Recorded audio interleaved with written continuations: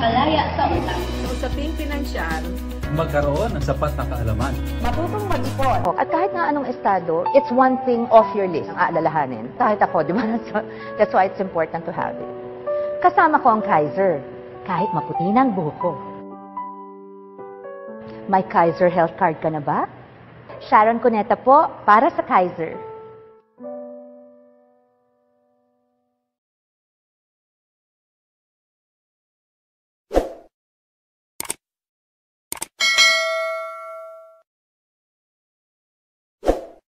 At kahit nga anong estado, it's one thing off your list ang aalalahanin. Kahit ako, di ba? So, That's why it's important to have it.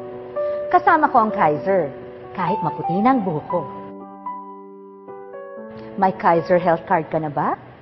Sharon Cuneta po, para sa Kaiser.